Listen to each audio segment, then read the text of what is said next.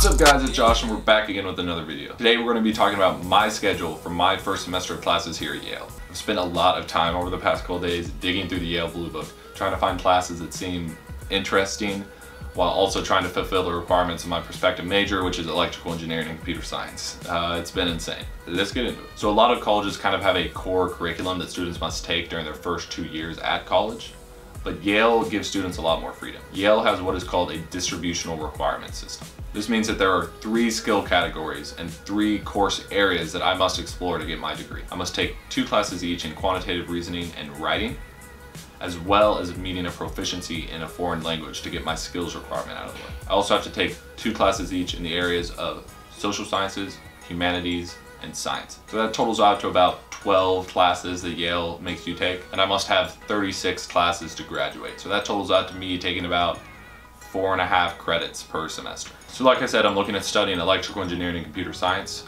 and that is a major that has a lot of prerequisites. So I wanted to knock as many of those out first semester as possible. Okay, let's start with math. I will be taking Math 120, which is a semester-long course covering the topics of multivariable and vector calculus. I did already take a similar course, well, pretty much the exact same course through George Mason University, but the credits don't exactly transfer correctly, so I'm just going to end up taking it again. This isn't necessarily a bad thing because a little bit of review could make this first semester a little easier for me. For physics, I decided on Phys 180, which is a calculus-based introductory physics course which covers all the topics from Newtonian mechanics to waves and sound. I'm hoping this class will be pretty similar to the AP Physics C class I took in high school, so I'm pretty excited. I have a decent amount of computer science experience from my high school classes and the web development that I've done on the side, but I didn't want to jump straight into the 200 level classes, so I decided on CS 100, which is a really cool class that is taught jointly with Harvard. It will expose me to the languages of C, Python, JavaScript, and hopefully give me a little review in my HTML and CSS. With three heavy math, science, problem set classes, I wanted to mix something in that would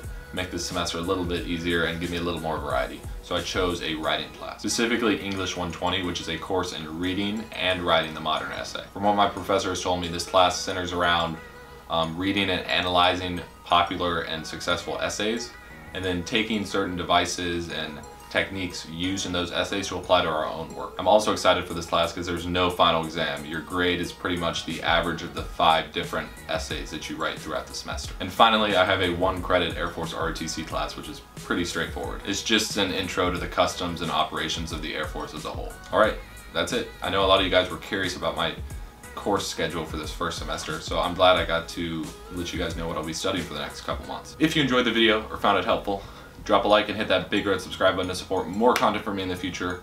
Please do, it helps a lot more than you think. If you want to talk to me, ask me any questions, do it down in the comments below. As always, I'll be back again soon with another video. See you soon.